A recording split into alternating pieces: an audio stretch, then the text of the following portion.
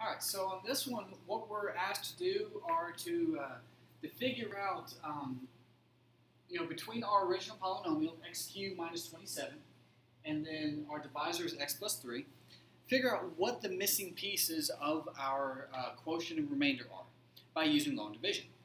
So uh, for p of x and d of x, well, p of x is our polynomial. That's the stuff that goes inside the house. d of x is the stuff that goes on the outside. Okay. The quotient is the stuff that goes on the top, and the remainder is what you get at the very bottom. So for here, to do long division, we got to remember a couple of things. When we set up our long division, all right, remember x plus 3 is our divisor. That's what goes on the outside here. But the x cubed minus 27, we're missing some pieces. In long division, it would not be a bad idea to get into the habit of filling in those missing pieces. So what I mean by missing pieces, we don't see an x squared term, we don't see an x term. So numerically, that would be a 0x squared plus 0x. In other words, when we fill it in, that'll be an x cubed plus 0x squared plus 0x minus 27. Okay? And now we do the long division just like we did before. What times x gives me x to the third? Well, that would be x squared. So x squared times x, well, that gives me x cubed. And then these two guys multiply together, positive 3x squared. Yet again, change your signs. And then combine like terms. Well, the x cubed minus x cubed goes away. 0 minus 3, well, that gets you a minus 3x squared.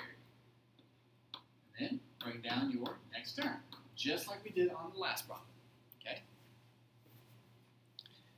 Now we repeat the process. What times x gets me a negative 3x squared? Well, that should be a negative 3x. So that would be a minus 3x on the top, and then multiply. Negative 3x by x, well that should be negative 3x squared. And then the negative 3x times a positive 3, well that should give you a negative 9x. Change your signs.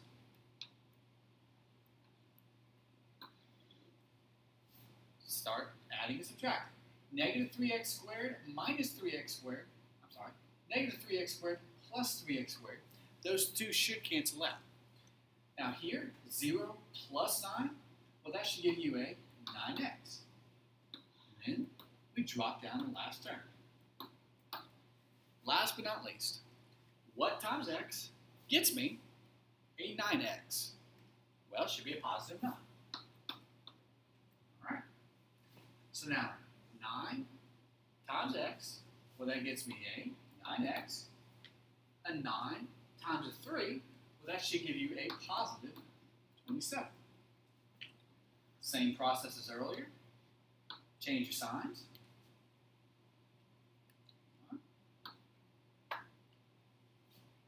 Change your signs. So your 9x's cancel out. And here you have a negative 27 minus 27. Well, that should get you a minus 54.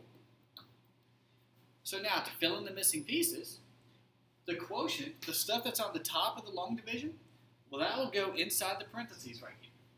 So that would be x squared minus 3x plus 9.